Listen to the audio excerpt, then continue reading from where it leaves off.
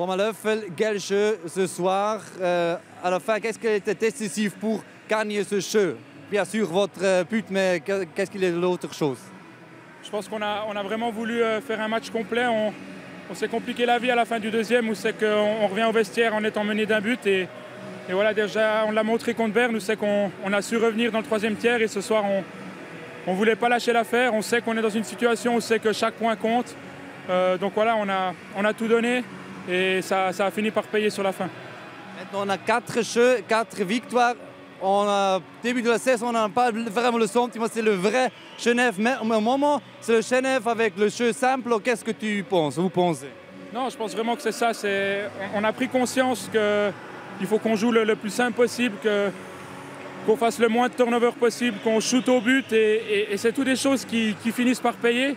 Euh, il ne faut surtout pas. Euh, être satisfait de ça et il faut continuer, continuer euh, soir après soir. On sait qu'il reste une vingtaine de matchs, donc c'est serré actuellement. Je pense que ça va aller jusqu'à la fin, donc on ne peut pas se permettre euh, de, laisser une soirée aller. Merci beaucoup, Merci, merci. Ganz entscheidend war, dass man heute Abend ein komplettes Spiel abgeliefert hat. Man sagt sich der Situation, wie eng das ist am Tabellenstrich, absolut bewusst. Und das haben wir heute hervorragend umgesetzt. Dass man einfach gesagt hat, einfaches Spiel machen, viel Zug aufs Goal, Back aufs Goal bringen. Und so will man eben auch das wahre Genf zeigen. Das hat man jetzt letztlich wirklich geschafft mit vier Siegen aus den letzten vier Partien.